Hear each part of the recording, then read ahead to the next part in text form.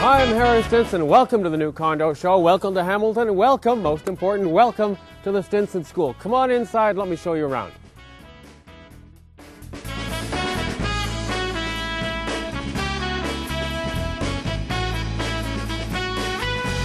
Welcome back and welcome inside the Stinson School. And this really is the Stinson School, and we really are on Stinson Street. And before I forget in my endless monologues, I remind you we are open here every single day, seven days a week from 10 a.m. until 6 p.m. on the weekends and 10 to 8 on the weekdays. So drop down to the Stinson School or check our website, stinsonschool.com. So, having got that out of the way, let me tell you a bit about the Stinson School. This building dates from the 1800s. In fact, the part we're in right now was constructed in 1894. The original building is even older than that. And it is just bursting with architectural character. The sort of building you will not find in Toronto. You barely even find in Hamilton. This was a rare find. And to find a building with your name on it, on a street with your name, it, it was cosmic. I just had to take a shot at this because the Stinson School brings back the Candy Factory memories. And the Candy Factory is a project that most of you will remember was built in the early 90s in Toronto. It was the catalyst. It was the beginning of the whole revitalization, the renaissance of downtown Toronto. In fact, a few years ago, Toronto Life cited the Candy Factory Lofts as one of the 10 most important events in Toronto's history. I thought that was pretty fabulous, but what they basically said was this changed the mindset of people towards downtown living in Toronto. And the Stinson School will likely have the same impact in Hamilton. Hamilton's a fascinating place. I moved here two years ago because of the opportunity, because it seemed like there was a complete vacuum of interesting residential accommodation in Hamilton. Try driving into Hamilton along the 403, and it's a totally different world. In fact, the geography of Hamilton, and you're not going to believe this, but I'm going to compare it to Vancouver in a way. It is set in a geographic bowl. It is surrounded by hills. The mountain, as they metaphorically call it here, it's a beautiful city. It's full of wonderful old buildings. And it's actually quite a dynamic contemporary city where the dominant economy is health science, academic. Hamilton now is more of a medical town, more of a university town. There's more than half a million people here.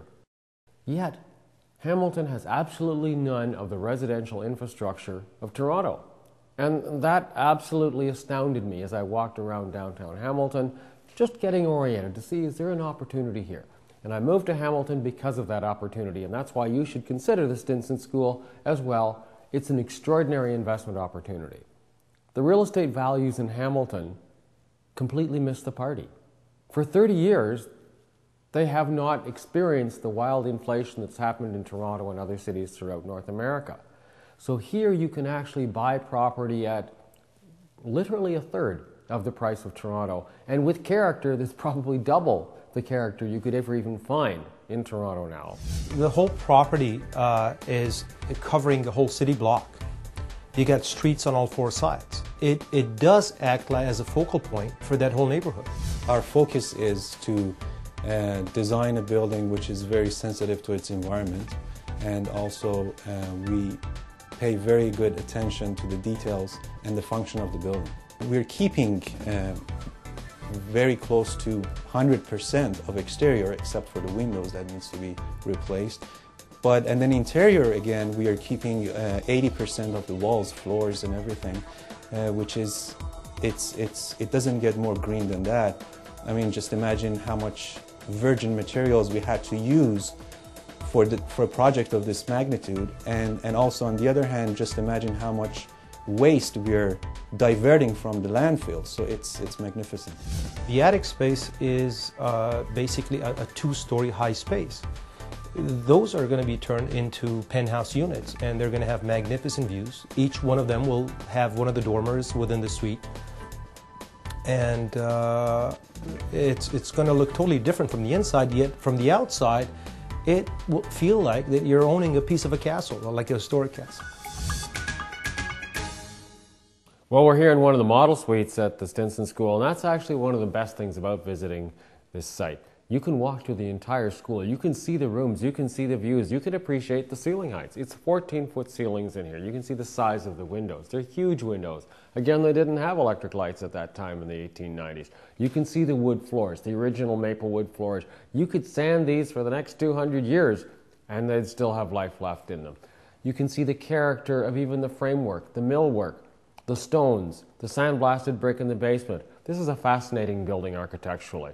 A typical suite here is approximately 1,000 square feet. They actually range from 800 up to 3,000 square feet, but the average suite here is 1,000 to 1,500 square feet.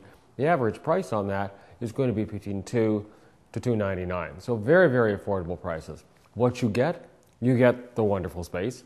You get a new kitchen, you get six appliances, you get parking, you get a finished space, you get a classic loft space. And again, these were classrooms. So they're the perfect size. They're 25 by 32. The high ceilings, these aren't the long bowling alley sort of lofts you see in many buildings. The ceilings are genuinely high, not nine feet. The wood floors are not plastic laminate, sort of looks like wood floors. They're real wood floors. Come on down to Stinson School. Again, we're here every day, 10 to 6 on the weekends, 10 to 8 on the weekdays. StinsonSchool.com is a website. 289 389 1377 is the phone number.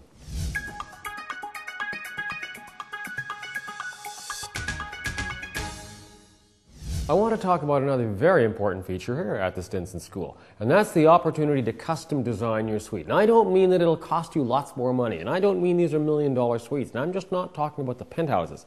I'm talking about every suite at the Stinson School. Every purchaser will have the opportunity to work with our designer in house at no extra cost to help you personalize and design that space. Within the cost of purchasing, these clients will have access to the kind of design expertise and the kind of customization opportunities that only exist in far more expensive projects. People are uncertain about how to proceed with a designer. And here, they don't have to make, do the research to find the designer. They don't have to research the process. It's something that's built into the purchase price. Well, now remembering that the Stinson School was a school, it had a playground. In fact, it still has a children's playground, which we're going to keep and donate to the city. So there'll be animation on the site. There's an acre and a half of land surrounding this building. These grand spaces, proud sitting in the middle of their own field. That's going to need some landscaping. So we have our own landscape architect, and Mario's going to tell you a little bit how we are going to make this building not only be looking good, but become the heart and architectural soul of this neighborhood? I, th- I, think that the, the children's play area specifically is something that we're really going to focus on, and uh, we, we don't want to remove anything from the community right now that, that exists, something that they, they feel strongly about.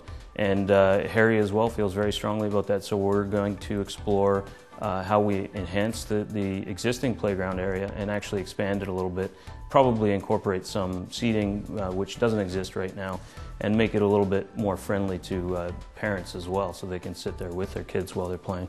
And there's a gentleman by the name of Larry Strong here who's a professional photographer in Hamilton, and he did a project last year called Hamilton 365 where every single day he profiled an individual in Hamilton, wrote a little bit about them, put it up on his website. So I did this Hamilton 365 project throughout 2008, and uh, Harry Stinson was one of my models.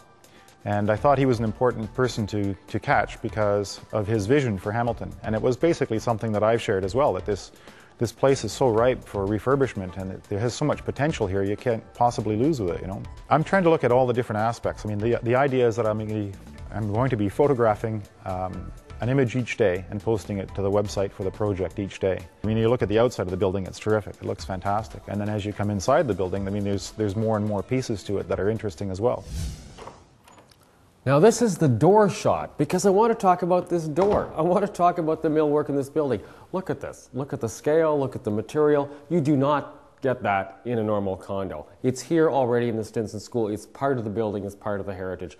Like these maps. So if you're ever lost in Canada, you've got a map right here. In fact, there are things I didn't even know about. In fact, we have some maps here with countries that don't even exist. Come down to the Stinson School and see all this stuff. So if I could sum it all up, seeing is believing. The Stinson School Lofts is an incredibly visual product. The website's pretty good, stinsonschool.com. But you've really got to come down and see us. We're open every day, weekdays till 8, weekends till 6. Stinson School, 200 Stinson Street in Hamilton. I'm Harry Stinson. We're on every single night here at midnight. Again, the website, stinsonschool.com. See you later.